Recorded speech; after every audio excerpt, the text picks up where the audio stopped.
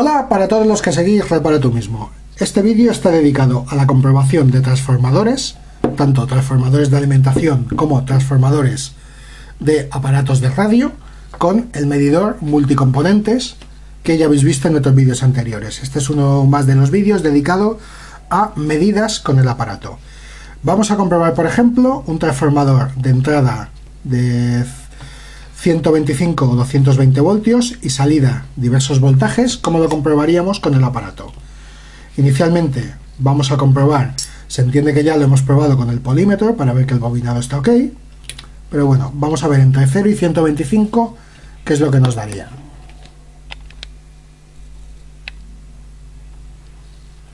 Nos da que es un inductor, nos da una resistencia y nos da unos enfrios.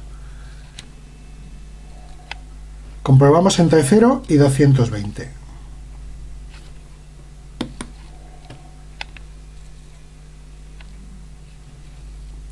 Nos da una resistencia mayor, ya que estamos cargando dos bobinados, y nos da otros enfríos. Comprobaremos con la toma que tenemos lateral, que marca en este caso 18, está de aquí, y veremos que eh, forma parte del secundario no es del circuito primario. O sea, no es entrada de voltaje, es salida.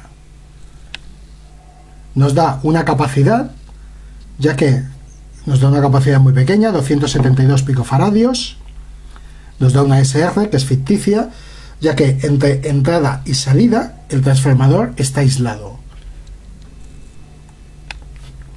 Vamos a comprobar esos 18 voltios de salida con la toma 0. La toma de salida 0 voltios.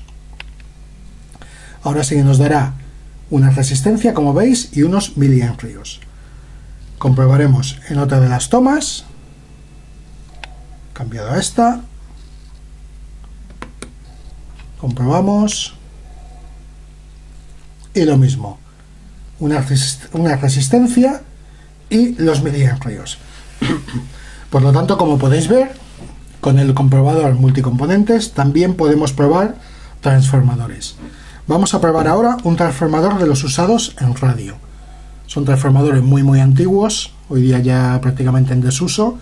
Solamente los encontraréis en aparatos de, de, de AM, de onda media. Pero bueno, ya que lo tenemos, ¿por qué no probarlo?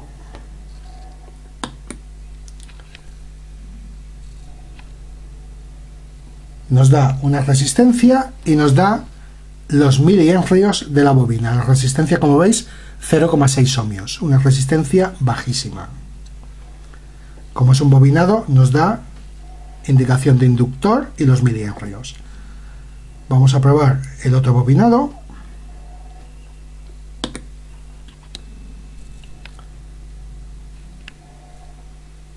Y lo mismo, nos da otra resistencia y los miliamplios.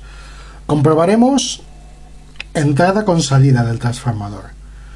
Nos indicará que es un capacitor, no que, es un inductor, como en este caso.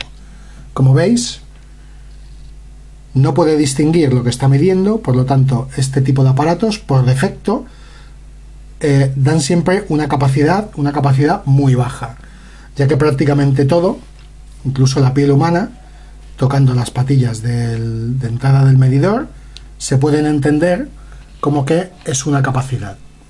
Ahora lo vais a ver.